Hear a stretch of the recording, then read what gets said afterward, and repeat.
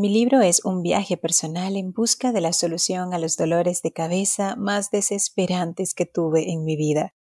En él comparto mis experiencias y aprendizajes desde tres perspectivas fundamentales, físico, mental y espiritual. En la parte física abordo diferentes enfoques y tratamientos médicos que probé para aliviar y sanar mis dolores de cabeza. Exploro la influencia de factores como la alimentación, el ejercicio, el descanso y otras prácticas relacionadas con el bienestar físico. Desde el punto de vista mental, examino el impacto de mis pensamientos, emociones y patrones mentales en la manifestación y persistencia de los dolores de cabeza.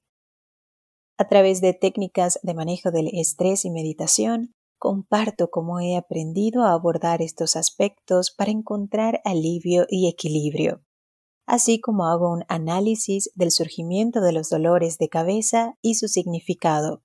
La dimensión espiritual también tiene un lugar destacado en mi libro. Exploro la conexión entre el cuerpo, la mente y el espíritu, y cómo la búsqueda de un mayor sentido de propósito y conexión con lo trascendental puede influir en nuestra salud en general incluidos los dolores de cabeza.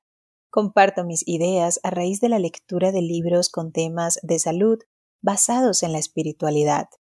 Hablo de mi crecimiento espiritual, la conexión con mi intuición, el cultivo de la gratitud y la aceptación a raíz de los dolores de cabeza.